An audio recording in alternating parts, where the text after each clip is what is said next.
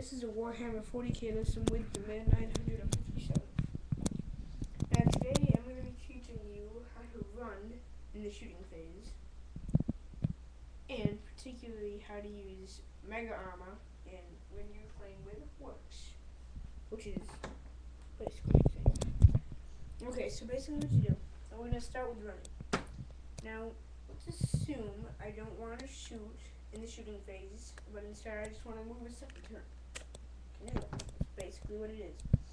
Now, if you decide to shoot with the rocket launcher, then you shoot it. You can't run, and if you run, you can't shoot. That means you can't even check the range for the uh, rocket launcher or any weapon, because that indicates that you are indeed trying to shoot. And if it's not in range, you miss. So you have to make a decision, and you can't really measure before you shoot in real war, so I guess that's why that's a rule.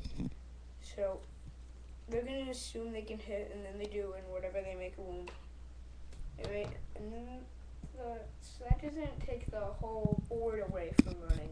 Another squad can still run. So basically, what you do is you take a d6, roll it. Whatever that says, that's how many inches you get to move. So that's four inches. Move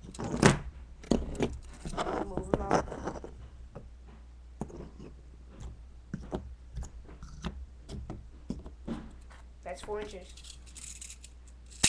Alright. Now, with Mega Armor, it's basically the same thing except it's just, a tiny bit different. It's like twin linked uh, Mega Armor. I guess you could call it twin linked armor, I guess, but um, basically what you do is you run. It's basically what you use the rules for run, except you roll two dice. This is what happens. Now it has a slow and purposeful rule, which means it, rolls two d6s, and you get to pick which one. You take the highest one out of there, which is a five, can fe- see. Kind of hard to see, but it's a five. All right. So I get to move five inches.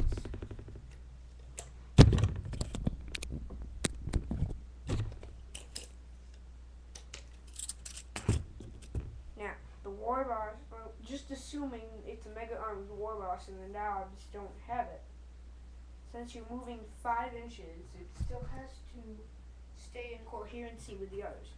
So, it can move six and still be one inch off, which is still in coherency because two coherency is two inches. Or, if you want, it could move four or three and still be in coherency. Otherwise, it is out of coherence. Or it can just move five. You can just move with it.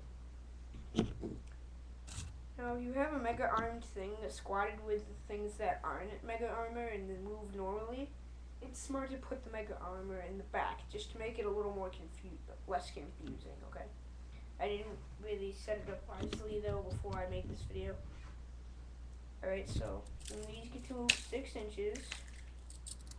And they're gonna match up with the war boss right there.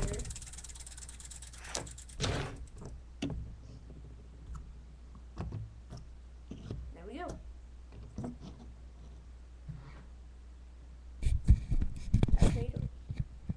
Okay. Now this has been a Warhammer 40k lesson with the man 957. Thank you for watching, and I definitely apologize for not having many videos in lately. It's because I've been you know, kind of out of ideas, you know. I've done most of the stuff that's really basic facts. So, um, I'm going to be trying to come up with ideas. I guess my next video will be uh, how to assault. I know I had one posted up a little while ago, but I was missing a step and some of the factors to it. Alright, and